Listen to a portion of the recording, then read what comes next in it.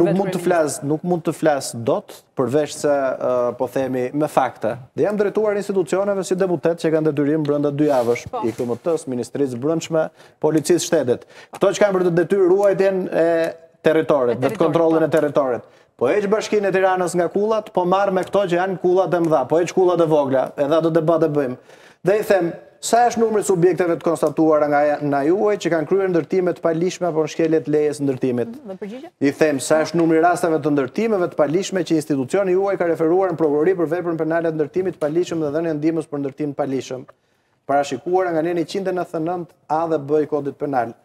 Tre, a janë marrë masa administrative apo kallëzuar penalisht zyrtarët e institucioneve që kanë pasur për detyrë mbrojtjen e territorit nga ndërtimet e paligjshme? Nëse po, i them, ju lutem, na vendosni në dispozicion emrat e funksionarëve dhe pozicionet e tyre.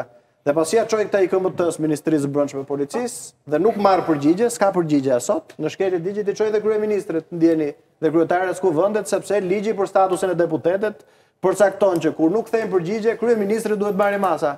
Kryeministri s'ka as vetë përgjigje. për këto. Pra, në kushtet kur nuk kanë një përgjigje, unë mendoj që jo vetëm ka ndërtime të paligjshme te këto që ne kemi denoncuar, por siç e keni parë, kryeministri është i tredhur nga këta. Dhe e pashë te kronika juaj se ju thoni që po e godet tani pandëshkueshmërinë. Po ça ça po po po godet kryeministri? Se edhe unë këtu e kam me kronikën tuaj që ju jepni verdikt. Ku ka këtu ndëshkim?